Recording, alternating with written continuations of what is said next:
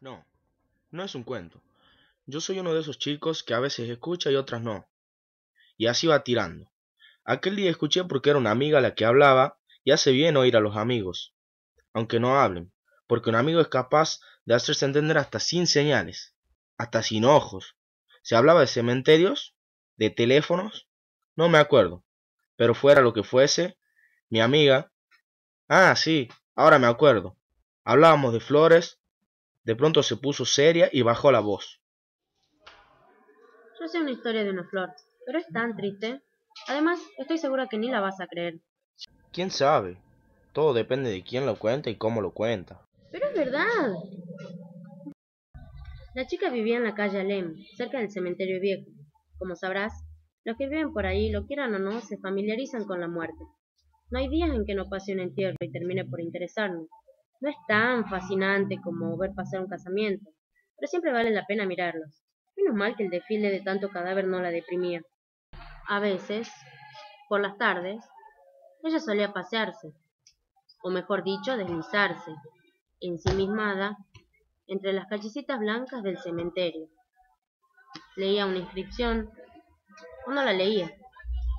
Descubrió un angelito, leía una placa, calculaba la edad del difunto al fallecer, comparaba las tumbas de los ricos con las de los pobres, miraba retratos y medallones.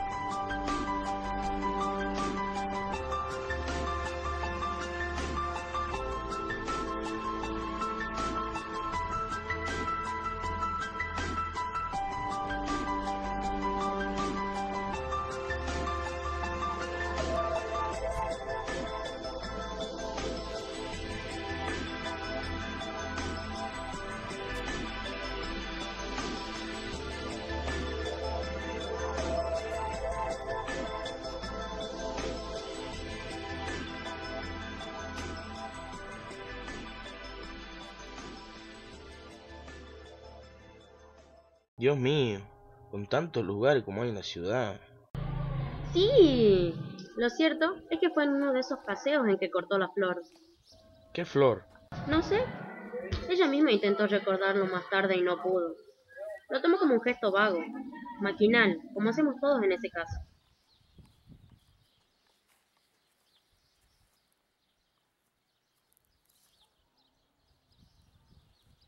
Se le acercó a la nariz y como era de esperar, no tenía aroma.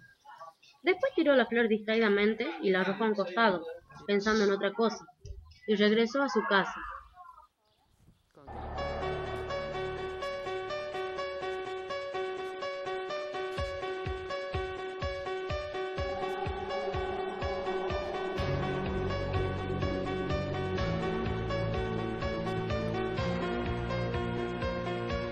Lo cierto es que ya hacía unos minutos que estaba en su casa cuando sonó el teléfono.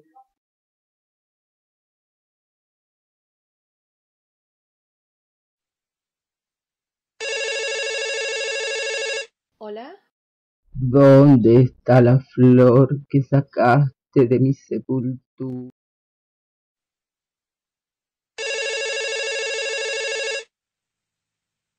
Hola. ¿Dónde está la flor?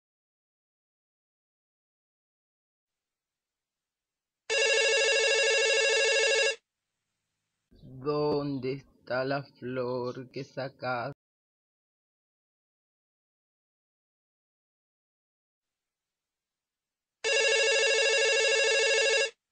Hola. ¿Dónde está la flor que sacaste de mi sepultura? Quiero la flor que me robaste. Dame mi florcita. Ya te dije, venía a buscarla. Pero al día siguiente, a la misma hora, vuelve a sonar el teléfono. Hola. ¿Dónde está la flor que me sacaste? ¿Por qué te entrometiste con mi tumba?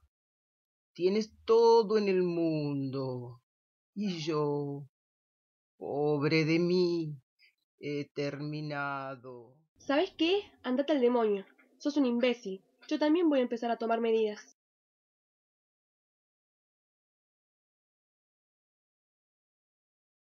Al cortar el teléfono, ella vuelve a su pieza, pero ella no iba sola, iba con la voz de la llamada. Puede ser que haya sido una persona que la vio en el cementerio cortando la flor y que ahora le hacía bromas pesadas por teléfono para que le devolviera la flor, pero ahora ella empezó a tener miedo. Bueno, yo también lo tendré.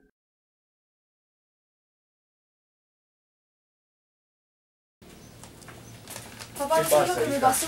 ¿Qué pasó? Estaba en el cementerio, arranqué una flor y ahora me llaman Sí. por teléfono y me dice que quiere que le devuelva. ¿Pero qué flor? Una que estaba en una tumba, no sé. No sabes de quién era la tumba. No, no vi. ¿Y qué podemos hacer? No sé, papá, llamar a la policía, sé algo porque me estoy asustando. Bueno, ya lo vamos a solucionar. Vamos a llamar a la policía. Pasa que las llamadas eran constantemente, eran a la misma hora, no la amenazaba, solo le imploraba que le devolviera la flor. Ella tenía miedo ahora y toda la familia estaba preocupada. Y efectivamente el padre fue a hablar a la policía. El comisario lo entendió muy bien, pero le dijo que ellos no podían hacer nada.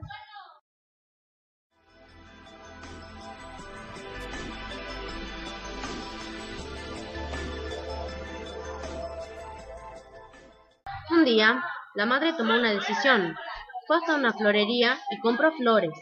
Luego fue hasta el cementerio y dejó flores por todos lados, esperando de esa manera calmar a la voz.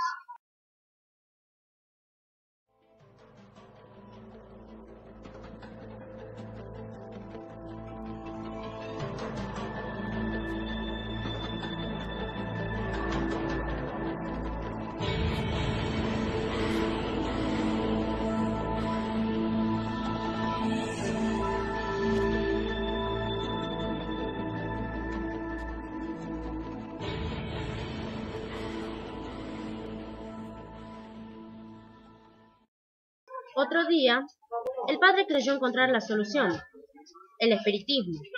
Fue a visitar a una medium, pero tampoco ella pudo darle la solución a tan terrible problema.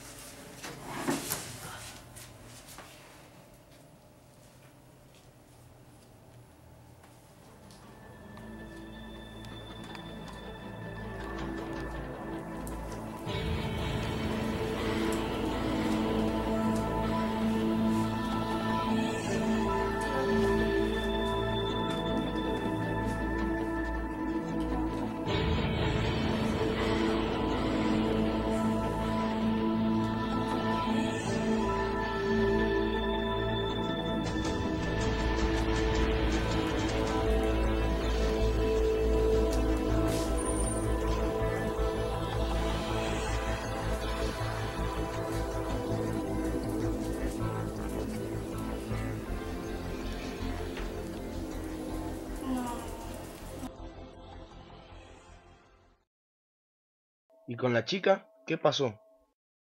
La chica, pobre. Nadie puede resistir tanto hostigamiento. Despacio, fue volviéndose loca. Dejó de comer y casi no dormía. Lentamente fue muriéndose. Y entonces la voz nunca más llamó.